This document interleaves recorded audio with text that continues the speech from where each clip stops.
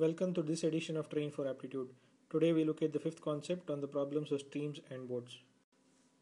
Let us begin by reading the problem. A man takes twice as long to row a distance against a stream as to row the same distance in favor of the stream.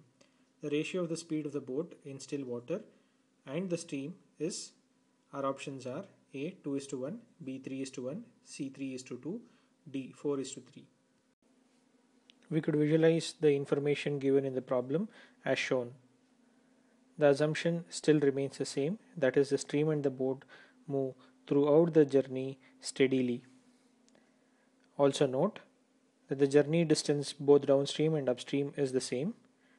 The boat while moving downstream is assisted by the flow of water and so it moves faster. On the way upwards, it is hindered by the flow of water, so it moves slower. The time taken to go upstream is twice that of the time taken to go downstream. We attempt to solve the problem beginning with the information given to us.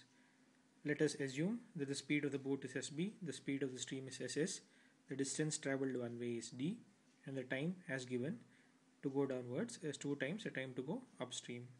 That is TDW is equal to 2 into TU. The next step is to calculate the equations or frame the equations for the time to move downwards that is t dw is equal to distance divided by the relative speed that we have found out.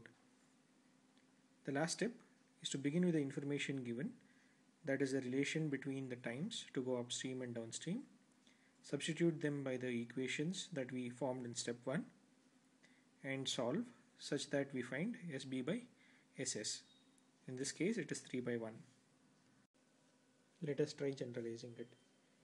The question given to us says the time to move downstream is 2 times the time to move upstream.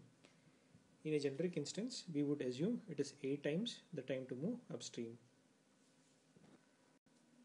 The next step is pretty common in all problems that is relating to streams and boats.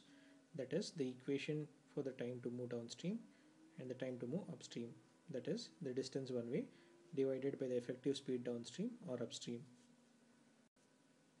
To find the ratio that is asked, we begin with the information that is given. That is T up is 8 times the time to go downstream that is T dW.